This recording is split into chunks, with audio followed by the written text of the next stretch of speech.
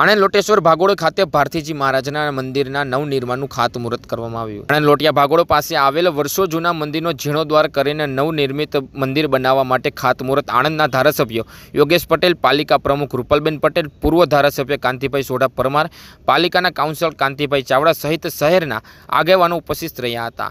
નવા મંદિરમાં ભારતીજી મહારાજની મૂર્તિ માટે અલગ સ્ટેજ બનાવવામાં આવનાર છે, તેમજ તમામ પ્રકારની સુવિધાઓ મંદિરમાં ઊભી કરવામાં આવશે. આણંદ શહેરના ગામતળ વિસ્તારમાં વર્ષો જૂનો ભારતીજી મહારાજનું મંદિર આવેલું છે. જે ક્ષત્રિય સમાજ સહિત અન્ય સમાજના લોકો ભારતીજી મહારાજને પૂજન અર્ચના કરતા હોય છે અને તેઓને રાજીપો મેળવવા માટે બાધા આખડી પણ રાખતા હોય છે.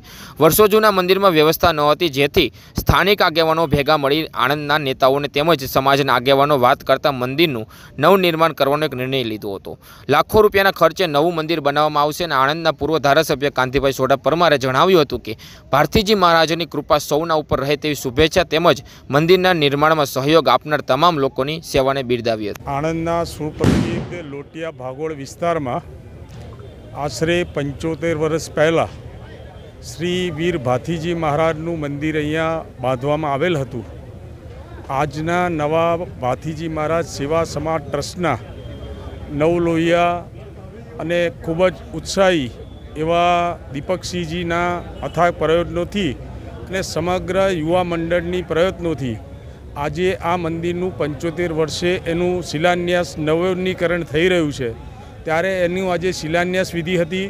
તેમાં અમે સૌ ભારતીય જનતા પાર્ટીના પરિવાર સાથે, આણંદ શહેરના નગરપાલિકાના પ્રમુખ, આણંદ શહેરના નગરસેવકો, ક્ષત્રિય સેનાની સમગ્ર ટીમ તથા ભાથીજી મહારાજ, સેવા સમાજના સર્વ સભ્યો તથા લોટિયા ભાગોળ તથા આણંદના સર્વ નાગરિકો વતી અમે આજે પૂજન કર્યું છે.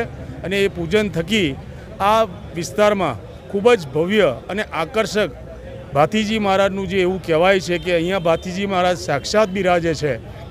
અને ગામમાં આવનારી, આણંદ શહેરમાં આવનારી કોઈપણ તકલીફોને કાયમ માટે દૂર કરે છે, એવા વીર ભાથીજી મહારાજનું મંદિર જ્યારે અહીં બાંધવા જઈ રહ્યું છે, ત્યારે હું ભારતી ભાથીજી મહારાજ સેવા સમાજ ટ્રસ્ટના સમગ્ર ટીમને ખૂબ ખૂબ અભિનંદન આપું છું.